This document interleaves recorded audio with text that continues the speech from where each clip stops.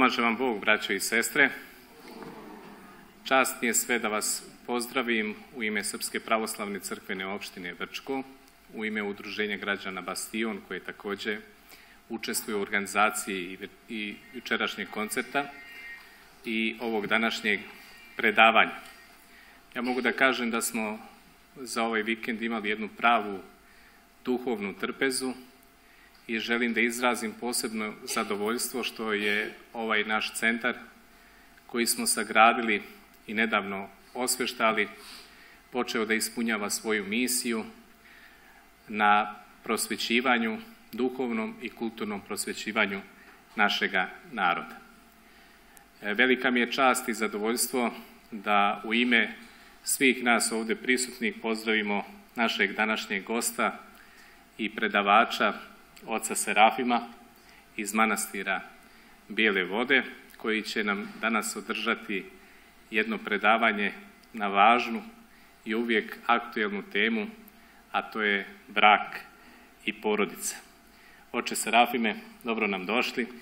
Hvala vam što ste danas sa nama. Hvala vam za molitve koje ste prethodno prinijeli gospodu pred prestolom Svevišnjega. Služili ste svetu liturgiju u našem hramu i nadam se da ćete biti čest gost ovde kod nas u Brčkom i e, doprinositi i duhovnom i kulturnom razvoju ovoga grada i našega vjernoga naroda. Dobro nam došli i ja vas molim da pozdravim oca Serafima jednim aplauzom. Oče Serafime, Englezi, pleasure is mine. Zaista je zadovoljstvo ovaj, biti ovde. Bio sam kao na nebu na ovoj liturgiji ovaj, sa ovim anđelskim pjenijem i sa puno anđelčića sa služašći i sa ovolikim prisutstvom narodnim, to nam daje nadu i daje nam ohrabrenje da nećemo propasti. Evo, da se prvo pomolimo.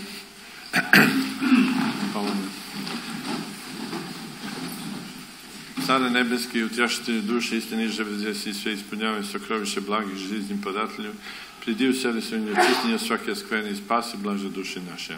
slava Otcu i Sinu i Svjatomu Duhu i nije pristino uvijek i vijek. Amin. Gospodi pomni, Gospodi pomni, Gospodi pomni, Oče blagoslovi.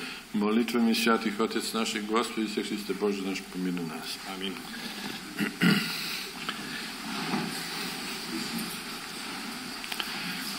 Evo izabrao sam ovu temu, mislim da je veoma važna i vruća, zato što je toliki napad sad na porodicu sa svih strana i uopšte na sve što je okrenuto ka Bogu. A porodica je mala crkva. Znači, ako imamo malu crkvu, jaku, imat ćemo i veliku. Ako imamo malu i veliku crkvu, imat ćemo i državu. Ako nemamo prvo, nećemo imati ništa. To je bila parola u Grčkoj posle drugog svjetskog rata, kada je kod njih bio građanski rat, kad su se borili protiv komunizma i izborili se. Ovo je bila parola njihove borbe. Znači, borili su za crkvu, porodicu i državu. Znači, napadenje je veliko, nekako, kako je došao komunizam u naše zemlje, kao neka hidrogenska bomba, je, što kaže, napravio štetu veliku i mi se još, vuče, još vučemo po, po ostacima te nesreće. Bauljamo i čeprkamo i tražimo neki izlaz. Mnogo se ljudi otuđilo ovaj, i od vere i pošlo nekim drugim putevima. Međutim, kažem, radost je velika videti vas ovako sabrane i jedina naša šansa je da i dalje nastavimo da se držimo gospoda. Što kaže psalmopisac, gospod je pomoćnik moj i prosvećenje moje, koga ću se bojati.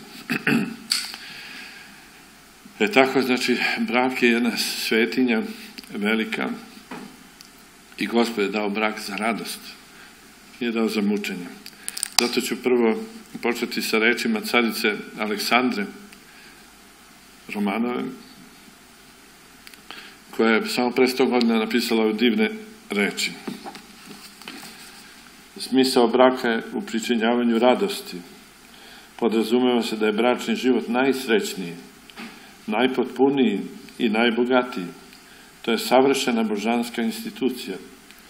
Božanska zamisao se zbog toga sastoji u tome da brak donosi sreću, da on život i muža i žene čini potpunijim, kako niko od njih ne bi izgubio, već da oboje pobede. Ako brak ipak ne postaje srećan i ne čini život bogatim, potpunijim, krivica nije do same bračne veze, krivica je do ljudi koji su njome sjedinjeni. Brak je božanski obred. On je bio deo zamisli Božje kada stvarao čoveka. To je najprisnija i najsvetija veza na zemlji. Posle sklapanja braka prve i glavne obaveze muža su prema ženi, a žene prema mužu. Oni treba da žive jedno za drugo, da jedno za drugo daju život. Ranije su, ranije su oboje bili nesavršeni. Brak je sjedinjavanje dve polovine u jedinstvenu celinu. Dva života su povezana u tako tesan savez da više ne postoje dva života nego jedan. Oboje do kraja svog života snose svetu odgovornost za sreću i najviše blago onog drugog. Dan venčanja treba uvek pamtiti i izdvajati ga između drugih naročito važnih datuma u životu. To je dan čija će svetlost do kraja života obasjavati sve druge dane. Radost zbog sklapanja braka nije burna, nego duboka i mirna. Kada se sjedinjuju ruke i izgovaraju sveta svečana obećanja, iznad bračnog oltara doleću anđeli i tiho pevaju svoje pesme. A zatim štite srećni par svojim krilima kada počinje njihov zajednički život. Krivicom onih koji su se uzeli jednog ili oboje život u braku može postati nesrećan. Mogućnost sreće u braku je vrlo velika, ali se ne sme zaboraviti ni na mogućnost njegovog kraha. Samo pravilan i mudar život u braku će pomoći da se postignu idealni bračni odnosi. Prva lekcija koju čovjek treba da nauči je da ispuni jeste strpljenje. Na početku porodičnog života otkrivaju se kako vrline karaktera i naravi, tako i nedostaci, specifičnosti navika, ukusa i temperamenta za koje druga polovina nije ni podozrevala da postoje. Ponekad se čini da je nemoguće navići se jedno na drugo, da će sukobi biti večni i beznadežni, ali strpljivost i ljubav savlađuju sve i dva života se slivaju u jedan, plemenitiji, snažniji, potpuniji, bogatiji i taj život će se nastaviti u miru i spokojstvu. Dužnost u porodici jeste nesebična ljubav. Svako mora da zaboravi na svoje ja, posvetivši se onom drugom. Svako treba da krivi sebe, a ne drugog ako nešto ne ide kako treba. Neophodni su izdržljivost i strpljenje. Nestrpljenje može sve da pokvari. Oštra reč može da uspori sjedinjenje duša za čitave mesece. Sa obe strane mora postati želja da se brak učini srećnim i da se savlada sve što predstavlja prepreku za to. I za najsnažniju ljubav je veoma potrebno da se svakodnevno učvršćuje. Najneoprostivija grubost je baš u sobstvenom domu i prema onom, onima koje volimo. Bojte se znaka i najmanjeg početka nerazumevanja ili otuđenja. Umesto da se čovjek uzdrži, on izgovori glupu i neopreznu reč. I evo, između dva srca koje su dotad bila jedna celina, pojavila se mala pukotina koja se sve više širi dok oni zauvek ne postanu odvojeni jedno od drugog. Rekli ste nešto nesmatreno, odmah zatražite oproštaj. Nastao neki nesporazum, nije važno čijom krivicom. Ne dozvolite da to ostane između vas. Uzdržavajte se od svađa. Nemojte ići na spavanje tajući u sebe, sebi osjećanje gneva. U porodičnom životu ne sme biti mesta za gordost. Nikada ne treba podhranjivati svoje osjećanje uvređene gordosti i skrupulozno meriti ko treba da traži oproštaj. Oni koji istinski vole ne smiju da se bave takvom uzročnošću. Treba da su uvek spremni i da ustuknu i da se uzviše. Evo, braći i sestra, ove reči su napisane samo pre 100 godina, a izgleda kao da su došle sa druge planete. Kad pogledamo kako se danas jedni prema drugima obhodimo, i roditelji prema deci, i supružnici međusobno, i tako dalje. Sveta carica Aleksandra je ovo sve napisala na osnovu svetog evanđelja, zato što u evanđelju stoji da ako dođe između supružnika do neke svađe i do neke loše reči, da ne smiju da legnu na postelju, a da se nisu umilili. A šta znači umiliti se? To ne znači formalno reći izvini, oprosti i ostati ljut, nego da se, što kaže, oprosti bez ostatka i da se zaista zagrlimo, što kaže, i oprostimo jedni drugom. E onda tako kad se desi, onda ćemo noć provesti u miru, onda ćemo se resetovati na fabričke vrednosti, odnosno odmoriti se i sutra biti spremni za novi dan. Ako zaspimo sa svađom, jedni drugi da osuđujući, već će sutra između nas biti zid i počet ćemo da se gledamo kroz zid i kroz puškarnice i onda će početi one poznate stvari, što se ovo stavio ovde, što nije ovo tamo i tako dalje, neke svađe oko nekih potpuno besmislenih stvari. Mnogi ljudi kad se razvedu, kad posle razmišljaju zašto su se svađali, uopšte ne mogu da shvate da su oko takvih sitnica mogli da, da dođe do to, toliko velikih svađa.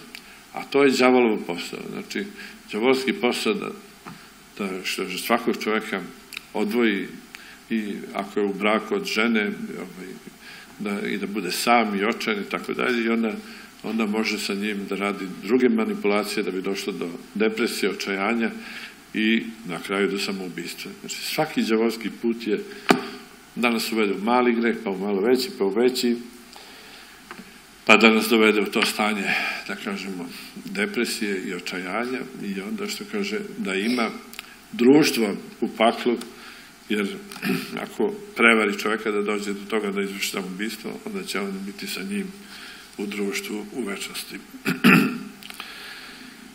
Ova knjiga se zove Darujte ljubav, što je pisao carica Aleksandra, ima divnih saveta i za decu i za te odnose, kakvi treba da budu, sve naravno prema svetom evanđelju. Ova druga knjiga se zove Brak kao podvig. Pisao je Arhimandrit Vasilis Bakojanis, Grk. Znači, ovo bi trebalo da bude jedan učbenik koji svaka kuća bi bilo dobro da ima. Toplo preporučujem da to imate. Iz ove knjige prvo poglavlje koje ćemo pročitati zove se Nije dobro da čovjek bude sam. I reče Gospod Bog, nije dobro da je čovjek sam. Pazite, nije Adam rekao, ne osjećam se dobro što sam sam nego je Bog rekao da nije dobro za Adama da bude sam, bez ljudskog društva. Pazite, nije bilo dobro da ovaj čovek Adam, koji je svakog dana gledao Boga u raju i razgovarao sa njim, bude sam. On koji je kao sunce sijao svojom svetošću, žive u raju, dakle na najlepšem mestu koje je postalo na zemlji, a koje je Bog stvorio posebno za njega.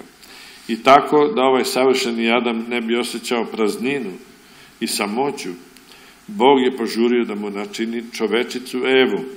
I to ne direktno od zemlje od koje je stvorio Adama, nego od dela njegovog tela, od Adamovog rebra.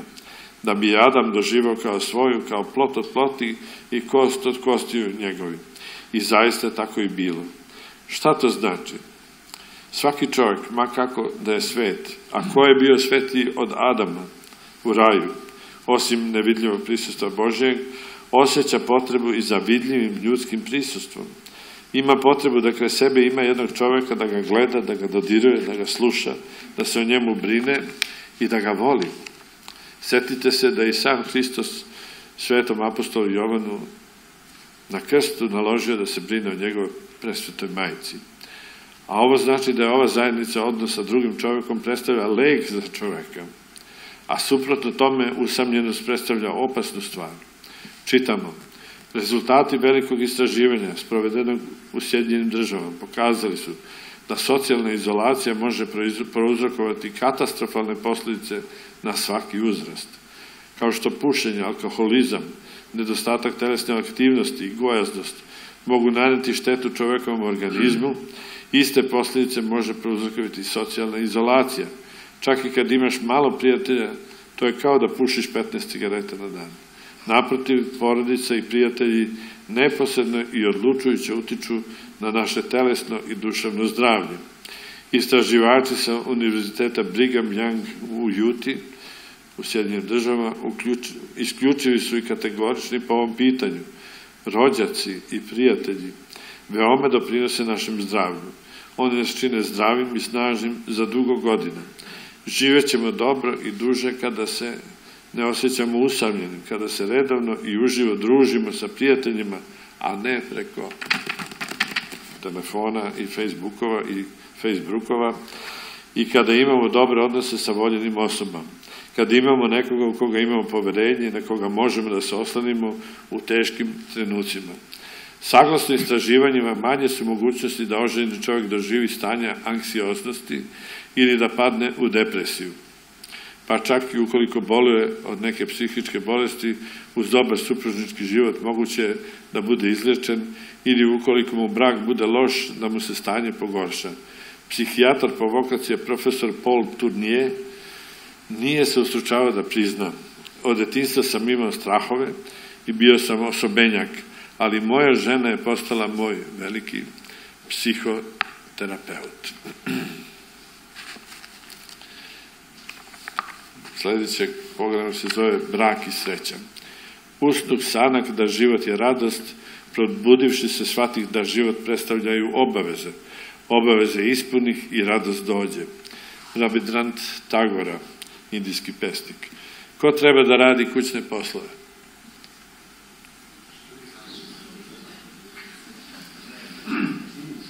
Muškarac ili žena? Onaj koji prvi ugrabi, odgovorio je starac. Zamislite da supruga trči da pozavršava sve kućne poslove, da ih ne bi uradio njen muž i da se ne bi umorio. A da tako isto radi njen muž, da trči da prvi pozavršava kućne poslove, da ih ne bi radila njegova žena i da se ne bi umorila. To je zaista lep primer. Brak, brak za primer. Jer ne, ne živo sad, znači ranije to bilo tako da je žena bila vezana za kuću i za decu i bila izvor mira, što kažu u porodici. Međutim, emancipacijom, nažalost, što kaže, smo ženu raspili na više krstova, tako da ona danas raspeta na pet krstova, što kaže da bude i majka i da radi na poslu i da bude domaćica, da bude žena svoje mužu i to, znači, uz pomoć, bez pomoći muža danas skoro nije moguće. Međutim, ovo ne dolazi samo po sebi, već je potrebno da se zadobije duh ljubavi, duh požrtvovanosti. Drugim rečima, sreća u supružničkom odnosu ne dolazi sama po sebi, nikada. Ona dolazi posle napora, posle zajedničke borbe i muža i žene. Brak ne može da te učini srećnim čovekom ako ti ne znaš i ovako da budeš srećan. Onaj ko je stalno nesrećan, on će biti u braku. Savjetuje Frank Pittman, porodični savjetnik i profesor psihijatrije na Univerzitetu u Atlanti. Međutim, mnogi stupaju brak sa mišlju da će čim se venčaju već biti srećni. Kamo sreće da je to tako, ali nije. Potreban je, ponavljamo, trud i borba. Supružnici za primer. Ilija Venezis, grčki pisac poreklom iz Male Azije, kaže da mu se deda zvao Janakos, a baka Despina. I da je njihov život od dana venčanja sve do duboke starosti bio kao med i mleko.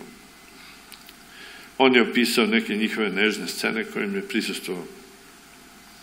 Piše, kada bi deda ulazio u kuću, uvek je baka prva ustajala da ga dočeka.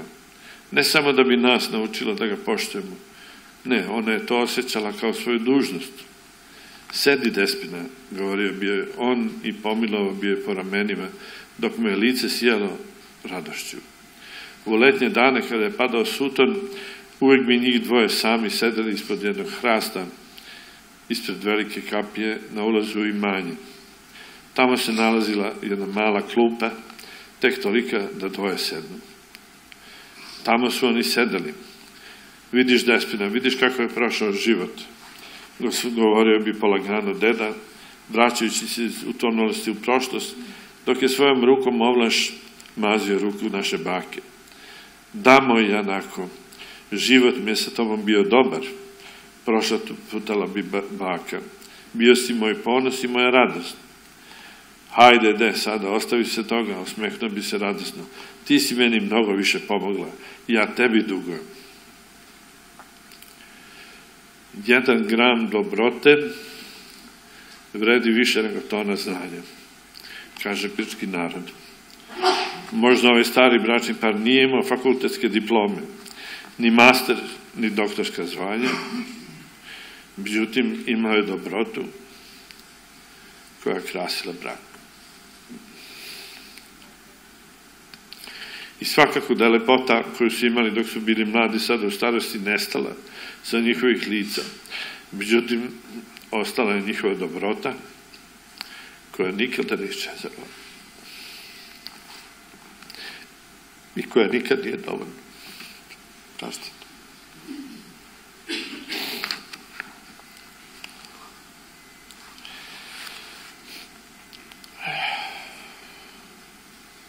Lepote se zasitiš za 40 dana, dok se debrote ne možeš zasititi ni za 40 godina.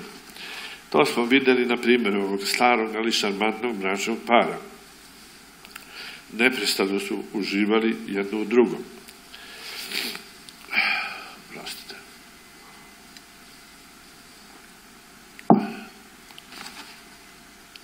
Dakle, kao suprug, kako ti doživljavaš ovaj bračni par? Da li bi ti mogao isto tako da se ponašaš prema svojoj supruzi? Dakle, da sediš ovako romantično sa svojom suprugom, razgovarate i da ti tvoja žena govori da mužu moj život sa tobom mi je lep. Ti si moj ponos i moja radost. A kada se vratiš kući sa posla da tvoja žena ustane da dočeka, a ti da je pomaziš. To su veoma jednostavne stvari, ali su veoma značajne one ne, iz, ne iziskuju neki naročiti napor, ni troškove, ni vreme, već samo dobro srce, dobrotu i smirenje.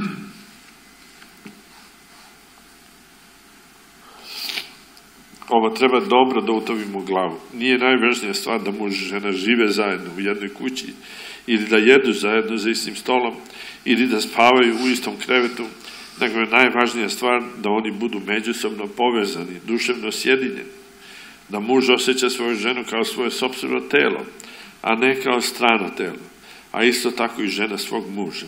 Da jedno drugo gledaju kao kost od kostiju mojih i telo tela moga. Treba da razgovaraju sa ljubavlju, da pričaju o svojim problemima, da jedno drugom govore svoje tajne, a ne da se ponašaju kao da su gluvonemi.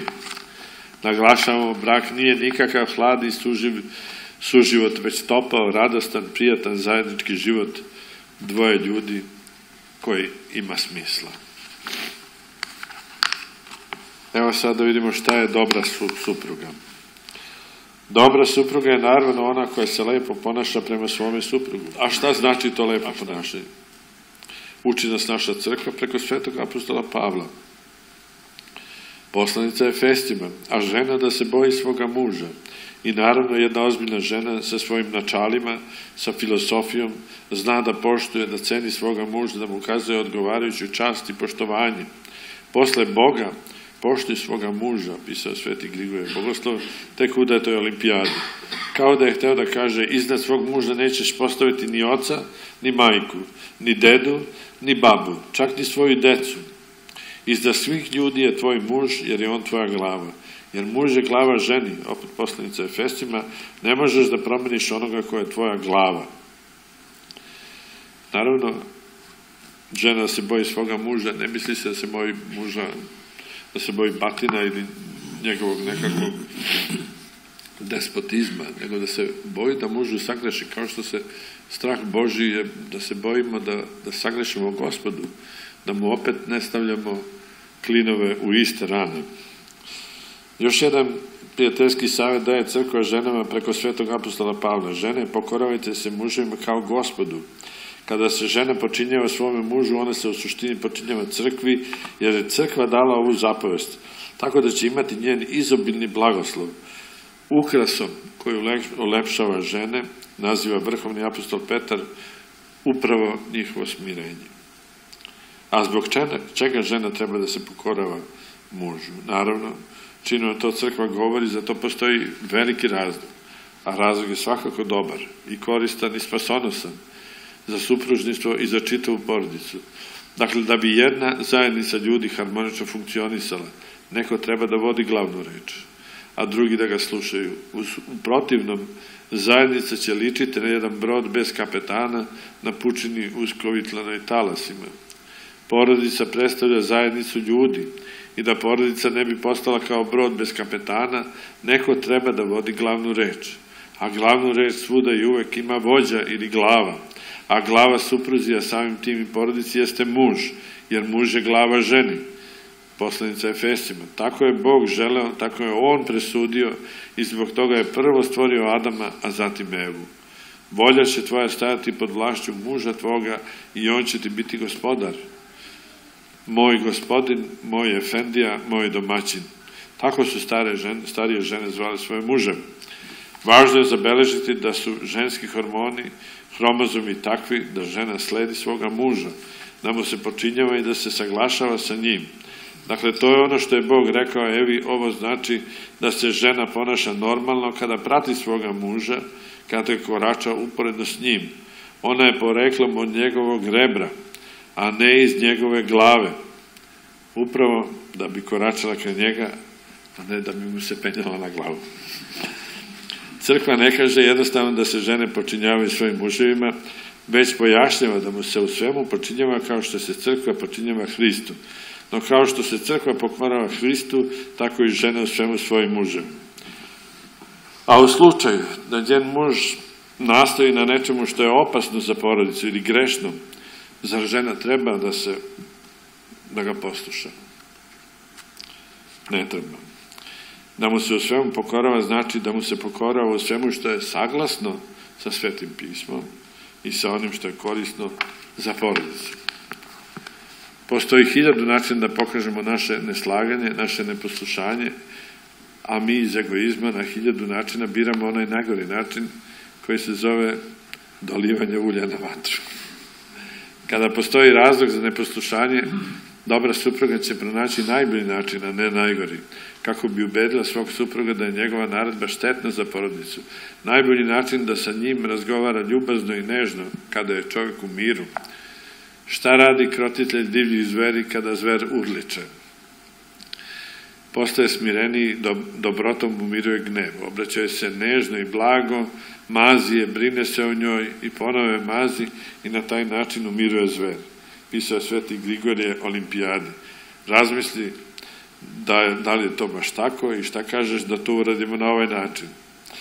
Naprotiv, loša supruga će izabrati zbog egoizma najgori mogući način da pobedi svog muža, podržavajući bezumne jarčeve koji kada se zadese da se sukobe, uzimaju zalet i sukobljavaju se čevno iznova i iznova, sve dok ne polome glavu. Kako će na takav način suprug da popusti?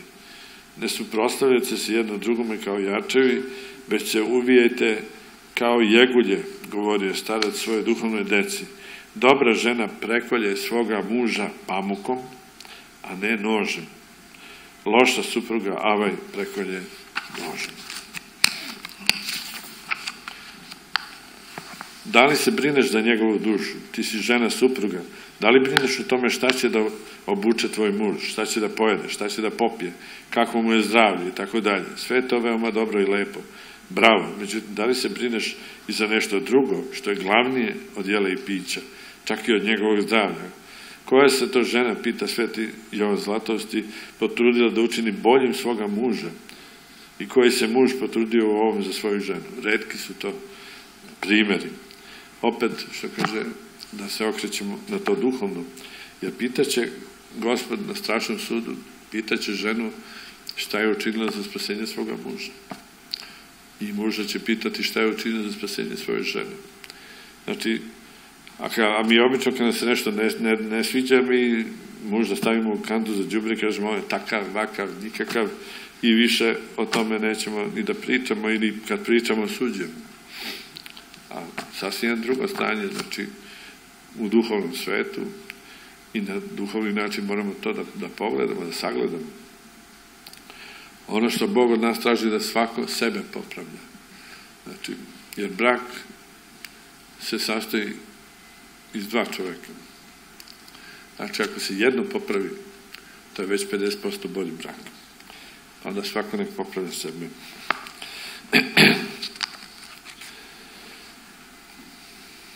Kako da dobre žene izvedu na dobar put svoje muže, svojim dobrim primjerom, svojim ponašanjem, učinit ćete da ona bez posebnog poučavanja u veri da oni poveruju, jer će vidjeti vaše besprekorno ponašanje i vaše poštovanje, savjetuje vrhovni apostol Petar ženama.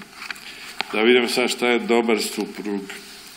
Jedno je žena, a drugo je muškarac. To su dve ravnopravne ličnosti, ali oni imaju različitu psihologiju i karakter i samim tim imaju različite uloge u porodici i društvu. Hormoni, hromozomi, muskulatura muškarca imaju takav sastav koji ga čini sposobnim za rad, inicijativu i voćstvo. Pojam muškarac se u našem savremenom i grčkom i srpskom jeziku veće sa pojmom junaštva i hrabrosti. Jesi li muško ili nisi? Ovo znači da, se muškarac, da je muškarac stup na koji se oslanja slabiji pol žena. Njen muž je njen oslonac, a dobar suprug treba da pokaže svoju snagu i svoju odvažnost prema slabostima i burnim reakcijama svoje supruge. Drugim rečima, muškarac je taj koji treba da podnosi slabosti svoje žene, a ne onaj koji će da je vređa, pocenjuje i tome slično. Muškarac, dakle, treba da bude taj koga neće odvući talasi burne reakcije njegove žene i samim tim on neće potonuti u luci u sobstvenoj kući. On stoji kao stena o kojoj se razbijaju talasi. Nemoj da grdiš svoju ženu i nemoj misliti da si na gubitku kad te ona grdi i vređa. Na gubitku si samo ako ti vređaš, a ona te trpi. Tada ti sam sebe vređaš. Jer kako je, što kaže gospod napravio, uzeo rebro od Adama, znači kost od kostiju i čovjek treba da voli ženu kao sebe samog, kao svoje telo. Ako mrzimo svoju ženu i mrzimo sebe sami. To je znak da si snažan muškarac, jer svi snažni muškarci podnose slabe. Ako ne podnosimo slabe, onda nismo mi jači pol, onda smo mi slabiji pol. Zašto te Bog postavio da budeš glava ženi? Da bi podnosio slabosti bića sa kojim vladaš. Neka tvoja vlast, dakle, bude vidljiva. Sveti Jovan Zlatosti, beseda prva o svetoj ustanovi braka. Poznato je da stari filozof Sokrat imao ženu veoma teškog karaktera Ksantipu. Šta mu sve nije radila, ali on je trpeo. Jednoga dana Ksantipa se bila toliko razbesnala i izvrezala ga na najgrublji način, kako bi Sokrat suzdržao svoj gnev, rečeo je da će izaći malo iz kuće. I dok je silazio ni stepenice, a kako bi mu se njegova žena još više osvetila, nije htio da sluša besedu do kraja, ona je na njega bacila kofu vode, a Sokrat je to okrenuo na šalu. To sam i očekivao da posle tolike grmljavine udari kiša. Ovaj muškarac je ostao kao stena, ne reagujući na burne reakcije svoje džangrizove žene. A mi, hrišćani, skačemo i ritamo se gore od magaraca. Sveti Jovan Zlatosti, peti vek. A danas još gore.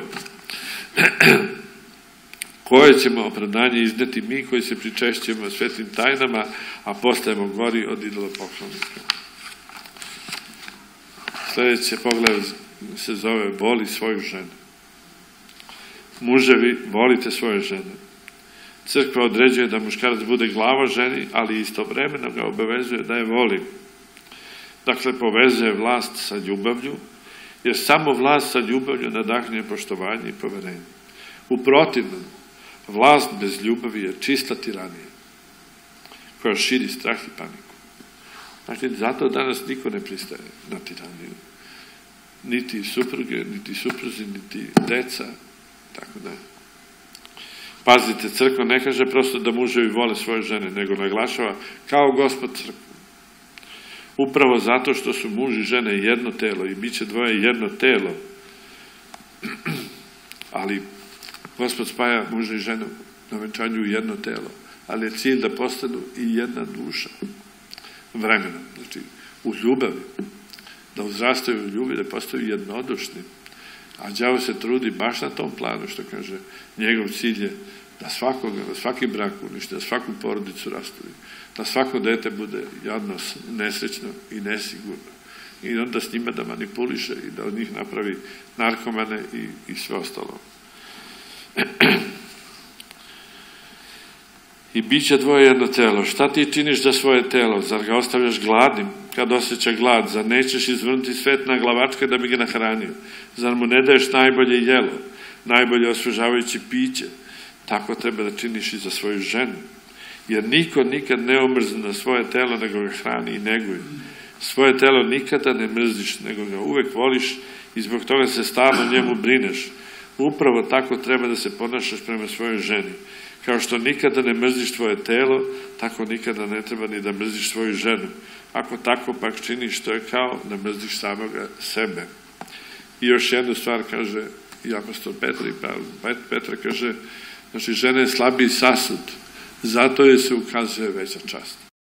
Ne zbog bontona i zbog nekakvih evropskih glupavih zakona, nego zbog toga što su apostoli to izrekli. Jedna žena u Atini je ležala na postelji zbog teške bolesti. Bolest ju je razarala i mada je bila mlada, izgledala kao starica. Jedan gospodin, mlad čovek, uvek je bio kraj nje, brinuo se o njoj, kupao, oblačio, hranio, bez roptanja. To je činio sa ljubavlju i svim svojim srcem. Sigurno je to tvoja majka, rekao mu jednom neki njegov prijatelj koji ga je posjetio. Ne, to je moja žena, odgovori me ovaj mladić. Eto toliko ljubav, žrtvu, posvećenost želi naša crkva da supruzi ukazuju svojim suprugama.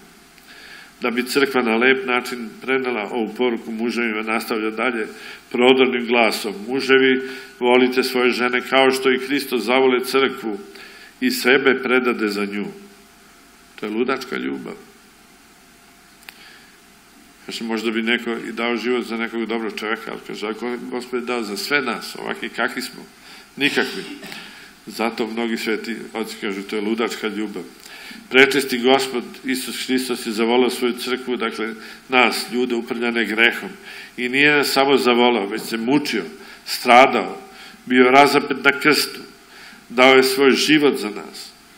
Makoliko strasti, makoliko slabosti da ima žena, muž je dužan da je voli. U protivnom bolje da je nije uzimao za ženu. Brini se o svojoj ženi kao što se Hristos brine o crkvi. I ako bude potpuno potrebno da bezbroj puta budeš ranjen za nju, ili ako treba život da daš, daj ga. Sve treba da daš, sve da pretrpiš. I ako budeš sve ovo učinio, opet ništa nisi učinio, jer nisi uradio ono što je Hristos uradio za nas. Beseda Svetog Jovana Zlato ostaje.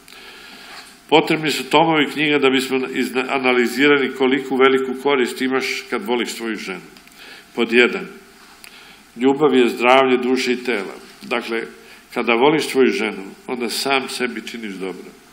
Dobijaš živost, snagu, energičnost i drugo. U protivnom, ako je ne voliš, činiš sebi zlo. Razboljavaš se psihički i telesno. Sami izaberite. Pod dva, kada je voliš, više ne padaš u iskušenje da se vežeš za nekom drugom ženom. Ljubav koju osjećaš prema njoj čini da je vidiš kao najlepšu ženu, pa čak i ako nije najlepša. Uliko je mrziš, tvoja mržnja će učiniti da vidiš kao najružniju na svetu, a ona može biti najlepša. Po tri, volite da bi vas voleli, govorio sveti nektarije episkop Pentapolski. Ako pružaš ljubav, dobit ćeš ljubav. Ako mrziš, bit će ti uzrećeno mržnjom. Žališ se da te tvoja žena ne voli. Pokaži prvo ti svoju ljubav. Da li je moguće da je ti vređaš, a da te ona voli? Volici svoju ženu, učinit ćeš da te ona postepeno zavoli. I tako, zahvaljujući tvojoj ljubavi, vaš brak će postati uspešan. Engleski pevač Paul McCartney iz grupe Beatles izgubio svoju ženu Lindu od raka. U jednom od svojih intervjua, između ostalog, rekao je sledeće. Bili smo u braku 30 godina i nikad nisam pomislio da provedem jedno veče bez nje. Ako bi trebalo da biram da prespavam u nekom raskošnom hotelu ili u svojoj kući sa svojom ženom, izabrao bih uvek da budem sa svojom ženom. Uvek sam želeo da budem sa njom. Bili smo u Njujorku kada se razbolala od raka. Izgubila je bila kosu od hemoterapije. Čak i takva meni izgledala lepa, jer sam je voleo.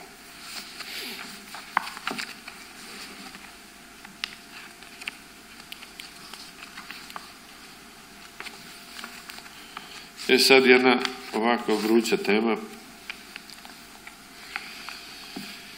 Kaže, ne zabranjujte se jedno drugome sem po dogovoru. Seksualni nagon nije isti kod svih ljudi. Kod jednih je veoma snažan, a kod drugih je manje snažan. Kod jednih je slab ili čak umrtljen. Tako da je prirodno to, da u tom slučaju taj bračnik koji nema želju za odnosom želi da se uzdržava.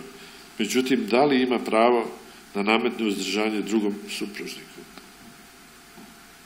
Šta kaže? Nema. Apostol Pavle savjetuje supruga da ne lišava svoju suprugu, odnosno da suprug, supruga ne lišava svog supruga supružničkih odnosa. Muž neka ukazuje ženi dužnu ljubav, tako i žena mužu, poslanica Korinčanima. Apostol stiže do tog stepena da kaže da telo supruga više ne pripada njemu, već pripada njegovoj supruzi. A takođe i da telo supruge više nije njeno, već pripada njenom suprugu. Žena nije gospodar od svoga tela, a tako i muž nije gospodar od svoga tela nego žena. Zbog toga, ako neko od supružnika, na primjer suprug, želi da se uzdržava, on ne može sam da donese takvu odluku. Sa tim treba da se složi i njegova žena. Ne zabranjujte se jednom drugom sem po dogovoru, privremeno, da biste se predali postu i molitvi, poslanica Korinčanima.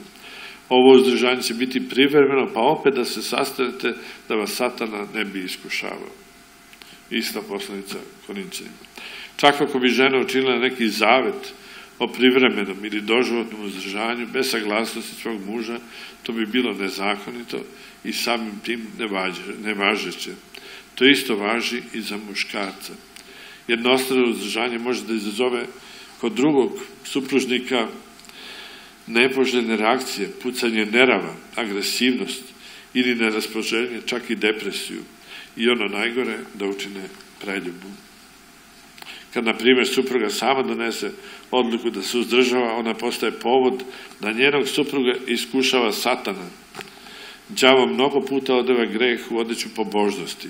Nadahnjuje ženu željom za uzdržanjem, tobož iz pobožnosti, dok je njegov cilj zli da muža baci u preljubu ili obrnuto. Znači ima puno primjera da su ljudi, što kaže, za vreme komunizma nije se išlo u crkvu, pa povlako počeli da dolaze, pa kad žene čuju da treba da se posti, pa da u postu treba da se uzdržava, a ona je već krenula, a muž nije krenuo još u crkvu. Žena kaže, nema ništa, sad je post, a ti crkni. I onda šta će jedan muž zamrti i Boga i popove i crkvu i ženu i sve oko sebe. Pa šta smo radili? Ništa, to tako ne može tako. Znači, ovaj, znači o tim stvarima zaista to mora da se dogovori. Ono nije do popova nego do đavola. A kaže, ovaj, znači, ako žena pusti muža da izađe gladan iz kuće, gladan lepe reči, gladan jednog nežnog zagrlja, gladan i telesnog odnosa, onda će on početi da to gleda, da, da posmatra sa strane. I obrnuto, znači, zato ako se brinemo o spasenju ove, jednih drugih, onda žena ne sme da pusti muža da izađe gladan, a muž žena. Znači, to, o tim stvarima mora da se dogovara, jer tu je ključ, što kaže, najvećih, najvećeg broja i svađa i razvoda. I tako je bilo i vreme Svetog to su. I on kaže, isto, kaže, ko pre 2000 godina, samo se dekor promenio. Šta mi da kažem, potpuno istu rečenicu. Sad lete avioni i šta ja znam, ali ovi problemi su potpuno istini. Ponavljamo savet apostola Pavla koji upućuje bračnicima, ne zabranjujte se jedno drugome. Ne naravno u smislu da bi se supružnici nasitili nezasitom strašću, već da vas satana ne bi iskušavao vašim neuzdržanjem. Cilj odnosa. Prvobitni cilj supružničkih odnosa nije bilo rađenje dece, već čuvanje supruga, odnosno supruge od nezakonitih odnosa, od bluda i preljube. To Pavle jasno kaže, ali zbog bluda svaki neka ima svoju ženu i svaka neka ima svoga muža. I ponovo, ne zabranjujete se jedno drugom, sem po dogovoru privremeno, da bi se predali postoji molitvi, pa opet da se sastanete, da vas satana ne iskušava vašim uzdržanjem. I ponovo, a neoženjenim udovicama velim dobro im je ako ostanu kao što sam ja. Ako ne mogu da se uzdržavaju, neka se žene i udaju, jer je bolje ženiti se, udavati se, nego li upravo upaljivati se. Jedna starica, grčka bila skoro 90 godina, ona je živjela u Kanadi, sad moji su se prijatelji neki tek bili venčali i ona kaže, sad ću ja vas da posavjetujem, kaže, kako da imate srećan brak. I oni sad slušaju i ona kaže, kad ti muž dođe sa posla, kaže, sačekaj ga, izađi, iznesi lavor tople voda, operi mu noge, kaže, mužić moj, jesi mi se umorio, i zagrli ga, poljubi, operi mu noge. Onda mu postavi da jede, kaže, da ruča, kad se lepo najede, kaže, vodi ga u spavajuću sobu. I sve će biti dobro. Eto, tako su, stari ljudi su znali to i zaista vidimo što kaže brakovi koji su trajali po 60 godina i više i, kad pojedu 50 kila soli, onda se zaista razvije prava ljubav.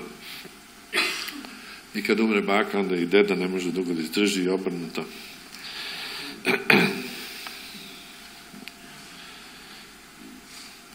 Sveti Jovan Zlatost imajući na umu pomenute reči apostola Pava uči brak je dat za rađenje dece, ali prevashodno radi gašenja telesnog raspaljivanja. Imam za svedoka apostola Pavla koji kaže, ali zbog bluda svaki neka ima svoju ženu i svaka neka ima svoga muža. Radi izbjegavanja bluda, kaže on, a ne zarad rađenja dece. Pavle ponovo govori da se sastajete ne radi rađenja dece, već da vas ne bi iskušavao satana. I ne kaže dalje da ako žele decu da se žene, već kaže ako ne mogu da se uzdržavaju, neka se žene. Naravno, ovim rečima apostol Pavle ne prenebregava rađenje dece, niti preporučuje izbjegavanje rađenja dece. Samo želi da naglasi osnovni cilj supružničkih odnosa. Sledstveno tome supružnički par koji nije dobio decu, crkva ne smatra neuspešnim. Nesrećan je samo onaj bračni par koji rasturi svoj brak. Da li, imaš, da li imaš decu, radujem se. Nemaš decu, raduj se. Grčka narodna poslovica.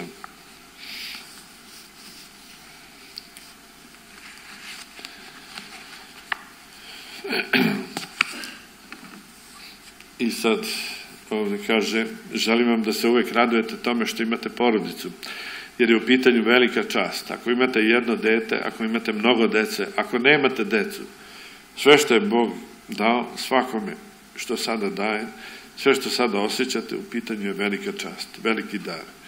Kako je radosno znati da postoji osoba koja živi i postoji za tebe, da je u pitanju voljeni koji misle na tebe, uvažavate, da se ti nalaziš pored njega, kako je sve to predivno. Velika je čast to što vas je Bog oženio i postavio vence na, na vas. Venčava se sluga Božiji sa sluškinom Božijom, to je tvoja žena tvoj i tvoj venac. Samo kod nas, Samo kod nas se stavljaju krune na glavu. Znači, i onda su muž i žena kao car i carica. Kod Greka i kod Rusa se stavlja, drži se iznad glave, drži se venci iznad glave, jer oni smatruju da samo car i carica, znači, mogu da nose. Znači, evo vi imate privilegije ovde kad se venčavate da budete car i carica. Pa ko nije još, neka izvodi. Požurite, možda ukinemo pravilo.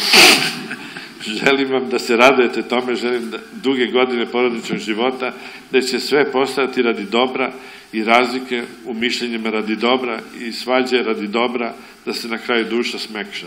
Tako će i biti potrebno je samo vreme.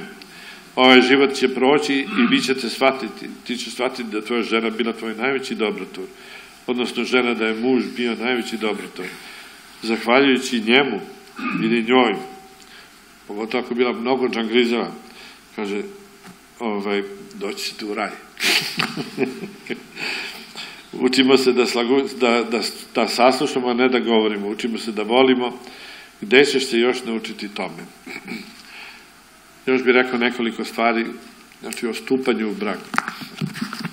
Nekako je sada, što kaže, živimo u takvom vremenu, da je greh postao normalna stvar, a da je vrlina na tapetu kao nešto loše. Znači, naše bake samo, što kaže, pre stotina godina, ako nisu bile nevene, teško su mogle se udaju. A danas, ako neka mlada devojka nevina, svi se smeju. Znači, nažalost, živimo u takvom vremenu, ali opet, znači, kako ide tekst ovaj, koji čitamo na venčanju? Kaže, pošto ste čisti, kaže, ušli u brak. Onda idu blagoslovi, znači imamo blagoslov na blagostanje, pa da i više imamo, pa kaže, pa i drugima da pomažemo, pa blagoslov na dobro potomstvo, pa blagoslov na dobro zdravlje. I dobija se naravno na venčanju anđeo čuvar. Znači, kad živimo nevenčan, u nevenčanom braku, to je jedna, da kažem, vrlo otvorena situacija za svaki na, napad. Znači, živimo stalno u konstantnom grehu bez pokajanja. To je vrlo škakljivo pitanje, da li smo uopšte dostojni za, za pričašće. Znači, oni ljudi koji mogu da se venčaju, a neće, njih treba natrati malo, što je zabranom pričašća, pogotovo ako su mlađi. Jer dešava se da se venčaju, recimo, građanskim brakom i onda umre baba i ne znam, pa se odliči venčanje, pa onda umre tetka, pa umre ovaj, pa tri godine, četiri odlože i onda zaborave. I onda ostanu da žive tako u grehu. Njih treba natrati i reći da se ne pričešćuju dok, se, dok ne uđu u zakon Boži. Jer ovako žive protiv zakona i nemaju nijedan od tih blagoslova. Mnogi se brine, brinu da im neko vraća, da ne znam ovo i da ne znam, ono, ne treba se brinuti da nam neko, ko nam vraća i šta nam radi, nego treba se brinemo da mi ne živimo u grehu.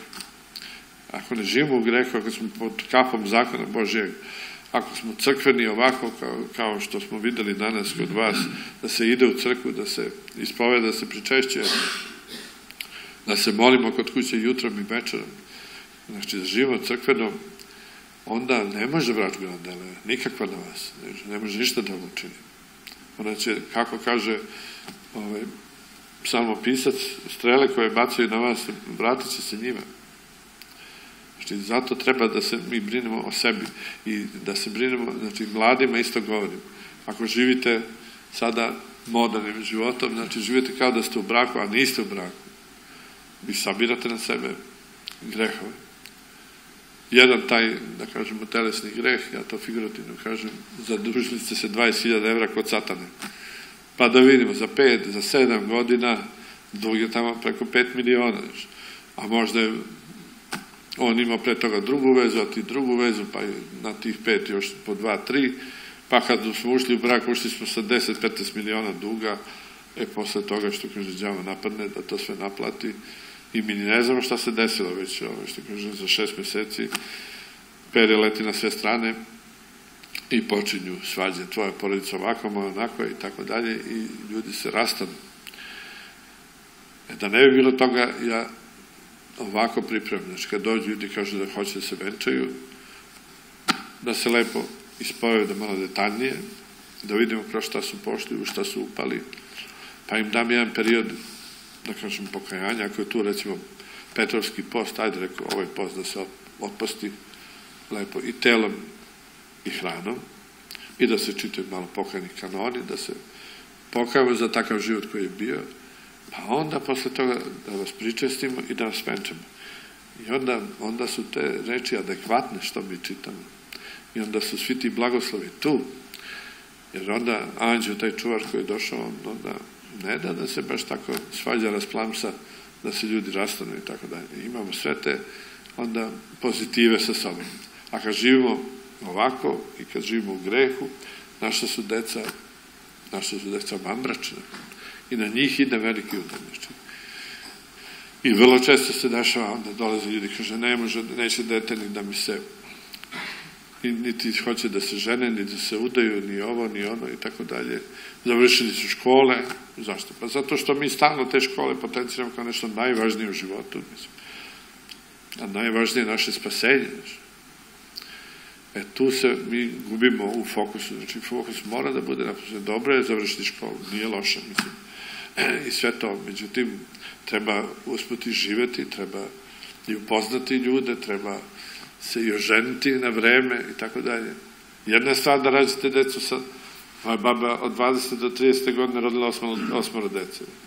Ide da podigu kući i razumeš, sve ono kad je čovjek najsnažniji, tako se to rade. A sad studira se do 25, do 27, negde i do 30, pa onda kad počnemo, sve se počinje kasnije, drugčije kad ti kmeči dete sa 40 godina, teško trpiš.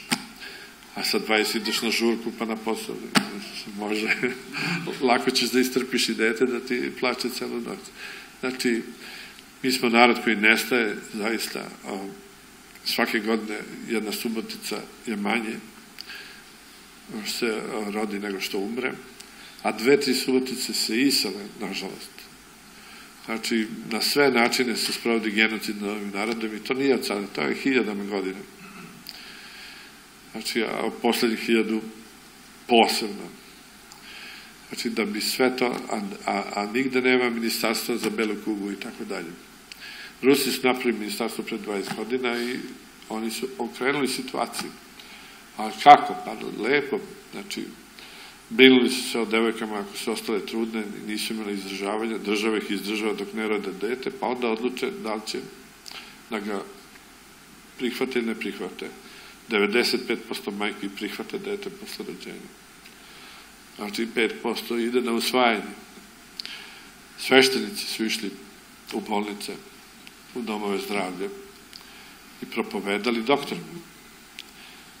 I od pet doktora koji čine abortuse, četiri se pokaju i prekinu da čine. Jedan doktor u svom radnom veku ubije 200-300 hiljada beba. Znači, vi kad spasite četiri doktora, vi ste spasili milion, milion ljudi. Mi se još nekajemo uopšte za to koliko smo dece pobili, a muslimani oni veruju ako abortiraju jedno dete, da će Bog da im usme jedno zdravo dete. I oni to ne rade. I u tom primjeru su sa, zaista bolje slušali Boga nego mi. A mi smo slušali lekare koji su nas slagali, znači i nauku koja nas laže večno. Jer jedina prava nauka to je sveto evanđelje. Ono se ne menja, ono uvek isto. Znači, Gospod je rekao, zemlje neba će proći, moje reči neće proći. A ovde pre 50 godina su lekari govorili dete nije ni živo do drugog meseca, ne čuju se otkuca i srca, mrt. I mnoge su majke to poverovali i po 10 i po 20. U Rusiji bilo po 80 abortusa. Prvi zakon koji je Lenin uveo 1917. godine zakon o slobodnom abortusu. A u carskoj Rusiji abortus se kažnjavao sa 20 godina Sibira. Pa nije ni bilo. E, vidite kako je to. Znači, i kod nas Tito isto tako krajem 50-ih uveo abortuse i mi ne znamo koliko smo dece tako izgubili. Ali nismo manje od 30-40 miliona. Znači, to nam nije pobio ni jedan naš neprijatelj. Nego mi prihvatili smo tog trojanskog konja. Tako, sve što nam nešto neprijatelji podbale na taj način, nismo mogli ni ratovima, ni nikakvim napadima, sa svima smo ratovali, njih više nema. Ratovali smo sa Rimom, pa ga nema, ratovali smo sa Bizantijom, pa je nema, ratovali smo sa Turskom, pa je nema, ratovali smo sa Austrougarskom, pa je nema, ratovali smo sa NATO-om, neće njih da bude prema tome. Ove. Ali ratovima nas nisu dobili, ali su nas pod, podvalili su sa ovim stvarima, a mi smo nekako neprosvećeni, neosvećeni. Smatra se to nekakvim, kakva je to sloboda da ubijemo jedno dete, nevino, koje ne može da se brani. Starac Kleopa je dao 50 godina epitimiju da nema pričašća za jedan abortus. Pa je onda smanjivo, ako ćeš da postiš i ponedeljak, smanjiš šest godina, pa ako ćeš da postiš, ovaj, da čitaš akatist za abortus se smanji, pa i tako dalje, ali nije davo ispod 5-6 godina, nije davo ovaj, manju epitimiju, kad se sve to skrati. a mi olako. Eto, to je bilo davno, pred 20 godina, pa nema veze. Nije oprošteno to tako. Znači, mora zaista veliko pokajanje da se, da se projavi pred gospodom, da bi se, da bi se to oprostilo. Nema tog greha koji Bog ne, ne može da oprosti, ali gospod traži pokajanje. I dobro je da sveštenici daju epitimu. Nama je Bog dao tu vlast.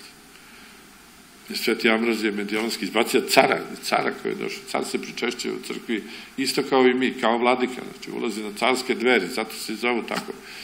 I, i pričešće se isputira. I Ambrozije mu nije dao da uđe. Zašto? Zato što je bio grešan, dozvolio neke stvari u ratu koje se ne dozvoljavaju. Nekad je čovjstvo bilo daleko veće od junaštva. I to je krasilo naš narod. I po tome smo mi, mi bili poznati. Znači, vitez je bio onaj koji je morao da poštoje svoje neprijatelje. Znači, mi nikad nismo išli da uništimo neprijatelja, da ga pobedimo i to je to. Znači, tako smo pobedili na Kosovu. Nismo ih jurili da ih istrebimo, nego smo ih pobedili i počeli da slavimo. Sve ostale priče su gluposti. Eto tako, znači o tim stvarima treba da vodimo računa. I zato ja preporučujem mladima, trudite se, što kaže, da budete, da živite čisto, nemojte odmah da upadate u te. Ima i treća knjiga koja je jako dobra od Ilije Šungajeva, jednom za ceo život. I u njoj lepo objašnjava. Znači, od svakog tog telesnog odnosa ostaje DNK od muškarca u ženi, zapisan. I obrnuto. I naveo primjer kako su bile neke cirkuske grupe ranije, znači koje su obilazile Rusiju i sad oni su bili malo obojeni. I dođu tamo u neki grad, izvrše predstavu i neka devojka sagreši sa njima. Međutim, ona se posle 4-5 godine uda za Rusa i rodi obojeno dete.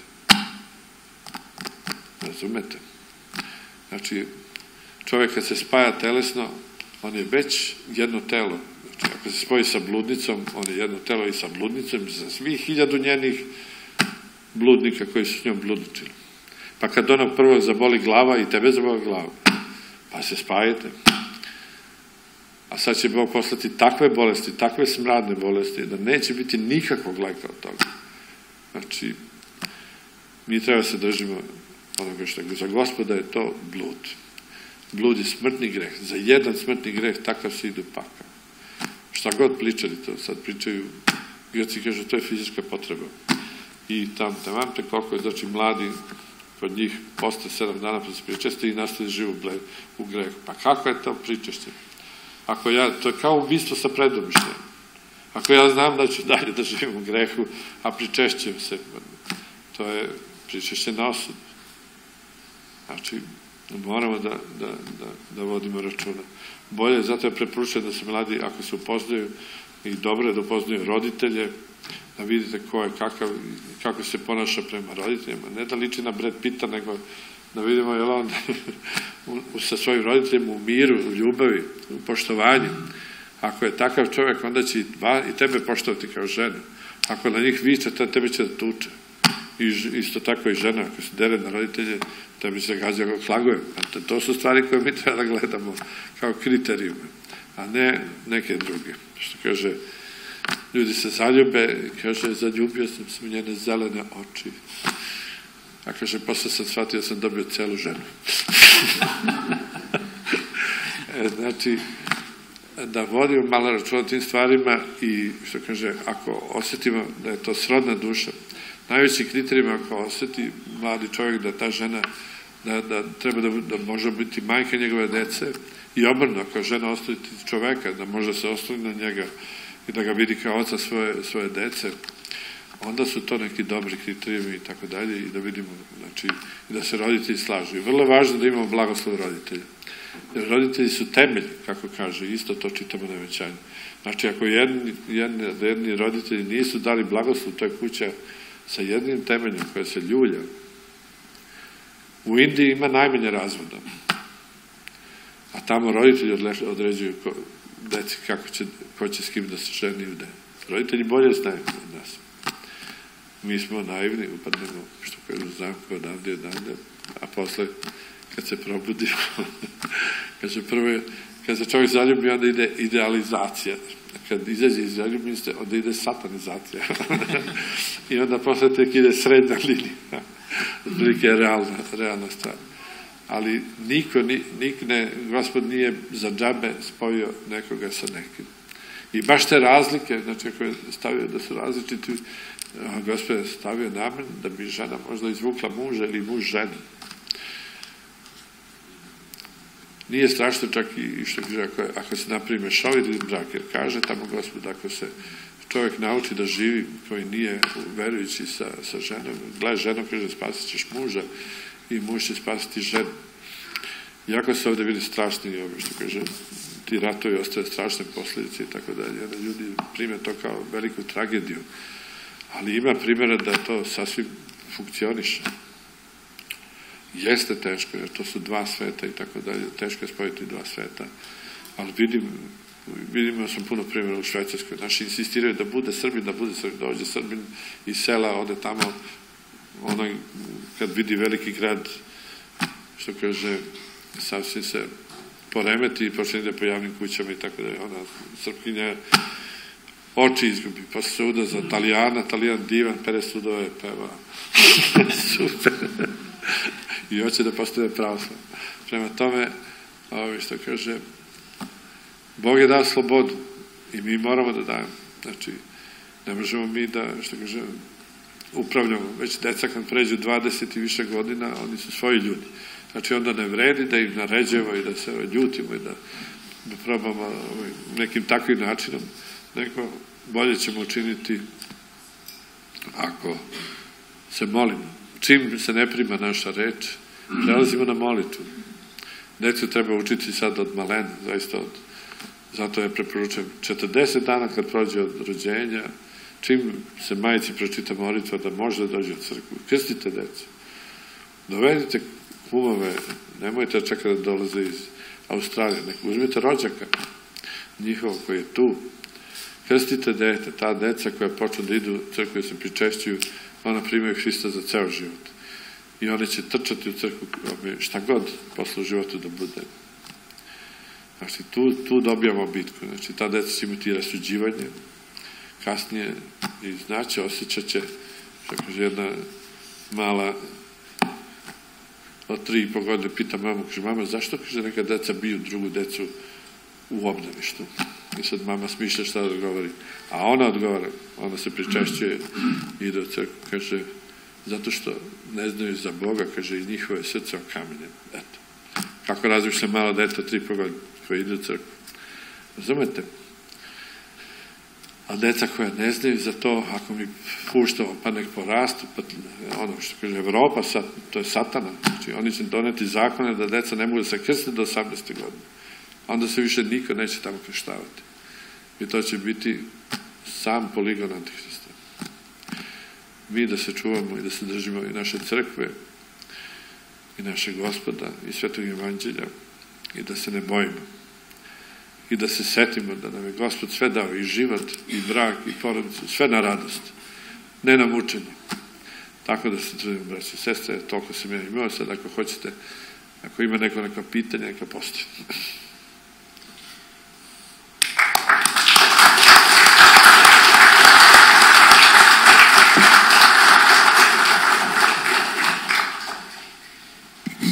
Braći i sestre, ako ima nekih pitanja, evo možete postaviti slobodno jedno desetak minuta, imamo prostora. Recite. Imam isto oče jednu jako vruću ovaj temu. I ovdje ili i ono. Ovaj. Pa sam htio da malo čujem vaše ovaj, mišljenje, neki savjet oko toga. a To je silan mozak mladog svijeta. Jednostavno, znači, to postaje u puste države postaje. Jednostavno, neće više niko ostaje, svi odlaze na taj neki zapad. Postaje u pusti i ovdje u Bosni, u Srbiji, u Hrvatskoj, kompletno. u Dobro, dobro. Ovaj, razumio sam. Ja sam bio u, u Kanadi 10 godina i nisam, nisam želeo tamo da ostanem od čim sam došao. Studirao sam u Engleskoj dve godine, tu sam pao u tešku depresiju. Nisam shvatao zašto, ali posle mi je bilo jasno. A, 2001. godine starac Nikolaj Gurjanov je rekao ovaj, meni i mome bratu Sergeju, koji je bio Rus, da je vreme da se vraćamo, znači, Rusiju Rusiju, Srbiju Srbiju. I da nije više vreme da se ide na zapad. Znači, to je bilo 2001. godine. Starac je se upokojio tu negde 2002. i verovatno će uskoro biti kanonizovan. Jer je veliki starac i, i svetitelj. I zaista je to tako, to je velika prevara, znači. Odlaskom na zapad za tu ne, za nešto malo što kaže ovaj, veće, veće plate, znači, ali gubi se jako mnogo, znači. Tamo paradajz ništa ne miriše, što kaže, niti ima ukusa, kaže, ovaj, jelo je bez ukusa, cveće bez mirisa, a ljudi ko glune. Tako da šta vam vredno na te pare? I onda na kraju ljudi se zaduže. Ja kad sam došao u Kanadu, ovaj, mi smo došli, prvo dobili socijalnu pomoć neku i kurseve da naučimo francuski i ja i supruga smo imali tada ukupno oko 2000 dolara neka primanja sa troje dece, a došli smo iz Srbije gde smo imali po 100 maraka kao inženjer, ja sam bio viši istraživač u institutu Mihajlo Pupin, jedan od najboljih instituta. 200 naših ovaj, mojih kolega otišlo u Ameriku posle da radim, a supruga bila pravnik u Prokupcu, isto jaka firma. Znači, mi smo imali 200 maraka plate i imali kirio 300 maraka koji nismo mogli da plaćamo. Nismo zato ošli u Kanadu, Ja sam pristao da odemo samo zato što nam je brak je bio u krizi, ja sam mislio da će to tamo da se popravi, pa sam naučio i tu lekciju da se problemi treba da se reše na mestu gde smo, ne treba ići nigde, jer to se nigde tako se ne rešava. I bili smo jako zadovoljni ovaj, kad smo to dobili, a stanovali smo kod naših ljudi koji su bili dva lekara, on je imao 7,5 ili 8 hiljada dolara platu, a ona imala malo manju, šest i po, tako, znači njih dvoje, 15.000, mi dve. Mi super srećni, zadovoljni, petog u mesecu nemaju ni dinara. Zato što se živi na kredit, renovacija kuće, pa novi auto, pa odmor tamo, pa tamo vam, pa to kad, kad stignu da, za, naplatu. Znači čovjek se navikne tamo da živi, ovaj, da plaća i plaća se račune ili tamo ili ovde uglavnom ja deset godina nisam mogao da skupim pare da dođem u Srbiju. Nije to tako jednostavno, mislim. To je sve prevara i cilj je da u stvari da od nas, tako su nama i rekli naš ovi mi za vas nismo zainteresovani. Kad su nam davali vize, kaže, mi smo zainteresovani za vašu decu, da oni budu dobri kanadjani, kaže, a mi, mi znamo da ćete vi ostati Srbi do kraja i tako da. Znači, to je prevara prevara i, i drugi vid genocida. Znači da se uništava ovi narod, tako da je. Sad ne možemo da kažemo ljudima, sedite tu, lepo se grejte, ako, ne, ako šta da jedu i šta da piju, ako nemaju nikakvog posla. To je drugi način genocida sa ovim narodom, što je napravljena takva situacija. A mi smo najbogatija zemlja na svetu, po svim parametrima. Znači, ja kažem, sramota je da ovde neko ima platu ispod 2000 evra. Sramota. To je samo znak da smo što je, u totalno lošim rukama, mislim. Ali tako, tako nas zapad drži, šta ja znam što kaže lomi. Čak i, mislim, znam da ima ljudi sa dobrim namerama, ali teško, je ovako izvesti. Ali nadamo se u ovo, što je rekao Sveti Sravni Carovski, da će posle 100 godina od ubistva cara ponovo biti car, 100 godina prošlo prošle godine. Znači, starci u Rusiji predviđaju za 2023. da, da će se pojaviti ruski car i onda će biti jedna lantana reakcija na sve strane. A Sveti Lavrent je Černigovski, on je razgovarao sa Enohom Ilijom pre drugog svetskog rata, a posle drugog svetskog rata oni su mu rekli da će mu se javiti Jovan Bogoslov.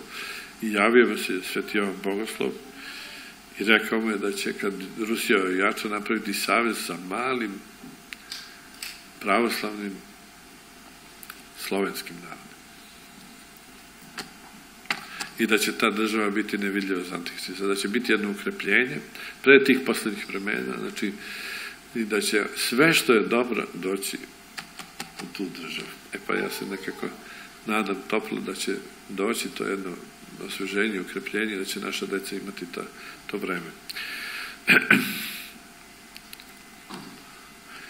Znači, oni koji moraju, neka ne idu daleko. Znači, neka odu u Austriju, a, a, Nemačku zarade neki dinar, pa čim krene ovde da bude bolje, neka se vraćaju nazad i ove, ne bi bilo dobro da im deca, čim deca počnu tamo da idu u školu, onda već je posle to jedna teža, teža situacija da se vrate i tako dalje. Tako da se trudimo, što kaže, da, da se očuvamo. Jer ima još neko pitanje? Šta kulturi ima do razvoja naše zajednice? Znači, ako se ljudi šta onda? Na primjer, dođe ne dođe neko iz bračne zajednice ili da se desi razvoj, prosto ne crveni od zajednice. A recimo brak srpskom. Kako onda? Šta onda? Pa dopušta gospod i te situacije, ovaj, e, ako nema spasenja, znači gospod vidi, ako u takvoj nekoj situaciji ne bi, ne bi bilo spasenja za celu porodicu, dopušta se i takva situacija. Samo što kaže, naše da probamo da učinimo sve da ne dođe. A ako ipak dođe, onda moramo to da prihvatimo kao takvo. Ovaj, dobro bi bilo da opet, ovaj, što kaže, i otac i majka budu u dobrim odnosima sa decom i da niko nikoga ne napada pred decom. Ali, nažalost, obično su to te situacije gde se mnogo toga tako, gde se stalno bilo osuđivanje i onda su takva deca zaplašena. Zato se toliko malo ljudi sad danas i, i ženi i udaje, zato što kad vide te situacije u svojoj kući i kod svojih prijatelja, imaju velike strahove. Znači, da će i njihov brak biti takav neuspešan i tako dalje. Naravno, ako se ostane u tim nekako normalnim odnosima i ovaj, da se deci onda posveti što veća pažnja i ljubav, onda će oni nekako prebroditi tu situaciju. Znači, crkva daje i razvod crkveni, znači, pogotovo ako se ljudi ne žive dugo zajedno, ako imaju ovaj papir da su se razveli ovaj, građanskim brakom, ovaj, i pogotovo ako se onda još ovaj, uđu u neke druge veze, ovaj, onda crkva će dozvoliti razvod ta, takvim ljudima. Je bolje da se ne živi u bludu, pa da se sklopi ovaj drugi brak, ako je moguće. Ima, vidio sam sad dosta drugih brakova koji su dosta uspešni. Ljudi se nekad zalete u mladosti i tako nastradaju i tako. Naravno, ako pratimo ovo sve što smo čitali, ako se trudimo po tim e, kriterijima, svako treba popravlja sebe i moramo se čujemo te osude. Gospod je rekao, ne sudi da ti se ne sudi. Ali nam je stalno lakše da vidimo na drugome čoveku i obično vidimo svoje grehe. Kad vidimo, namirišemo svoje grehe na nekom i skačemo odmah njega. Zato je gospod rekao, zašto vidiš trun u oku brata svoga, a kroz brvno naše, kroz naše grehe kad gledamo, mi uopšte ne vidimo tačno. Znači, i obično projektujemo svoje grehe u, u, u drugoga. E, tu je taj, taj problem. I, I moj brak nije uspeo, nažalost, ali zato gospod me pusti da prođem kroz tu jednu, takvu jednu tešku situaciju. A zato je sad jako mnogo brakova sačuvan. Da, gospod je preko, preko mene uspio da pomogne mnogima da sačuvaju brak. I mnogi brakovi se sklopili. Tako da se trudim.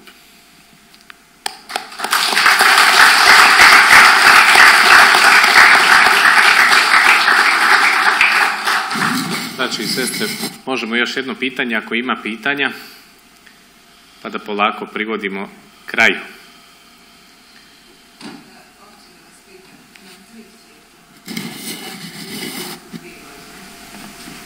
Imala je vezu od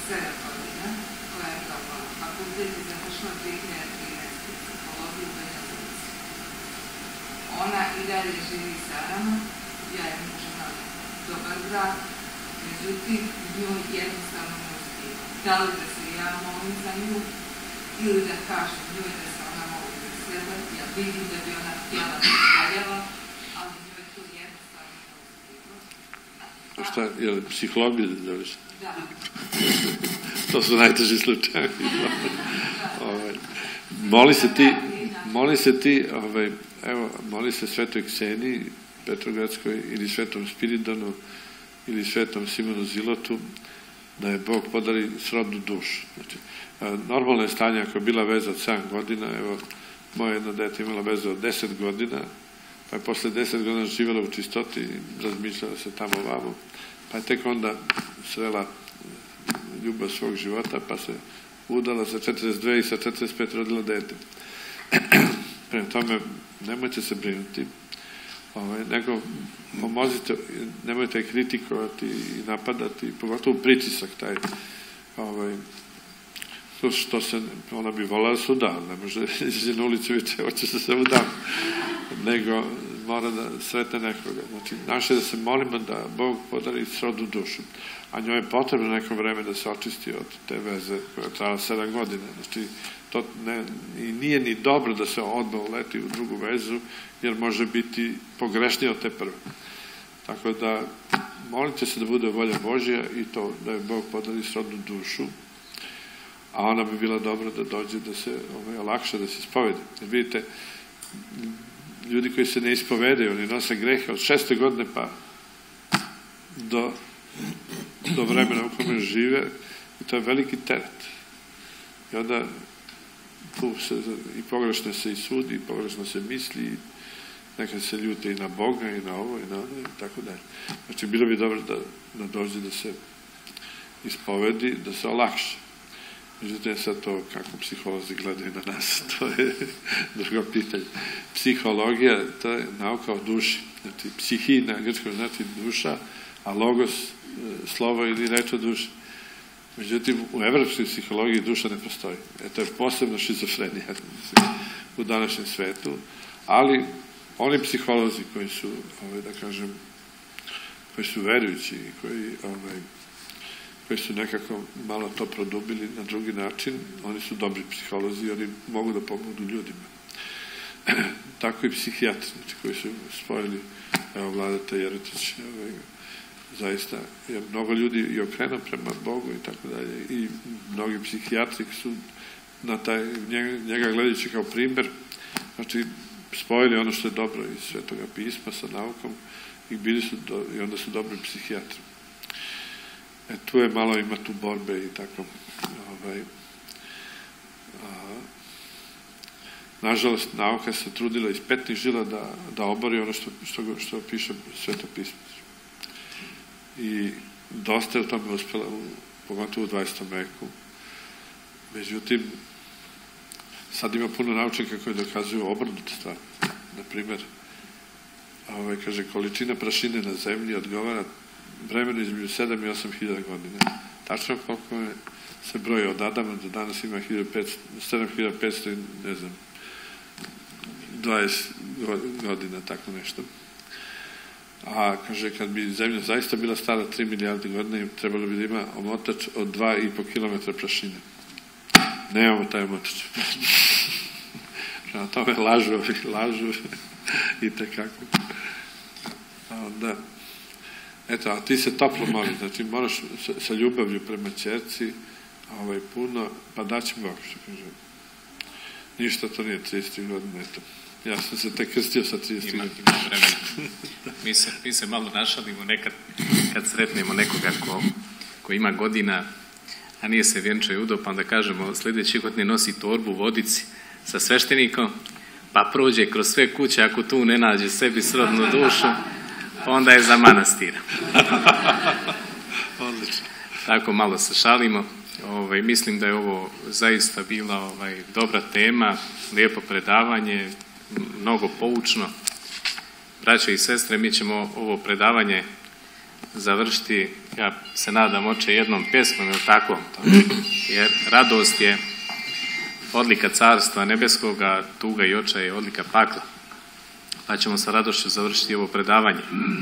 Ja želim, braće i sestre, da vam skrenem pažnju da na izlazu imate tamo proizvode manastira Bijele vode gdje otac e, službuje. To je jedan mlad manastir, ja sam bio tamo.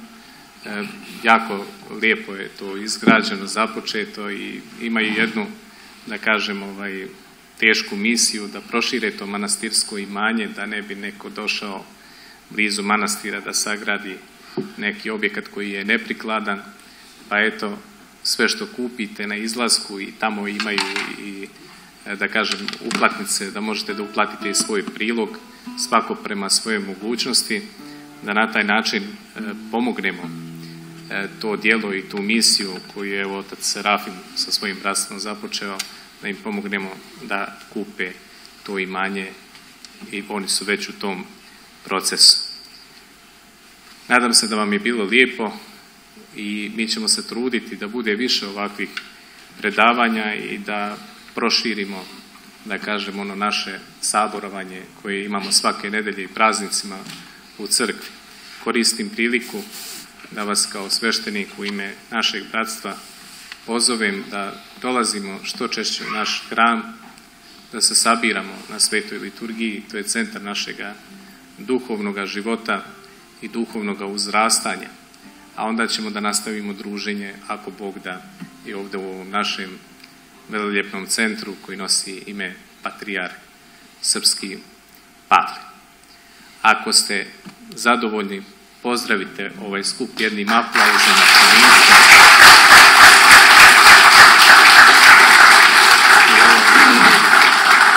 to, to, to, znači, to znači odobravanje da, da treba da se još više trudimo da se ovako sabiramo, jel da? Evo, sad ćemo poslušati. Na kraju pesma ovaj, od vladike Nikolaja, baš za uspenje uh, Preste Borice, koje, koje praznik vi slavite.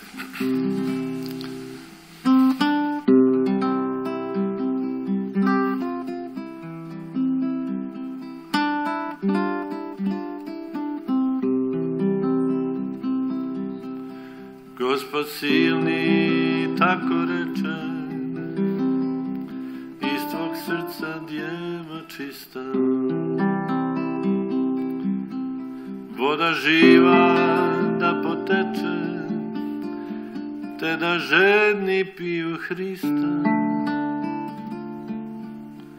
Istočniče živonosni, mi smo tobom svi ponosni.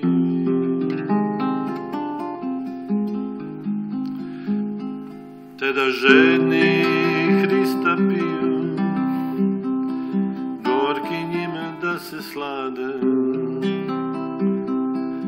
slepi njime da se miju, i žalosni leče jade. Istočniče živonosni, mi smo tobom svi ponosni.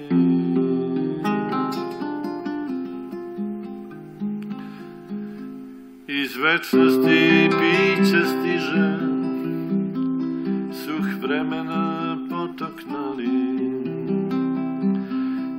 opet se tebi diže, okrepi se svet sustali.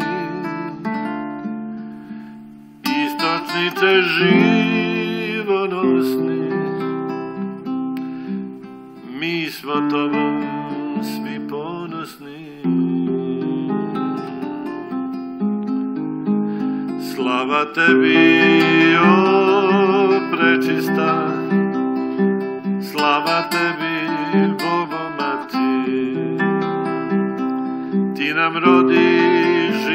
Hrista, živu vodu blagodati. Istočniče živonosni, mi smo tobom svi ponosni.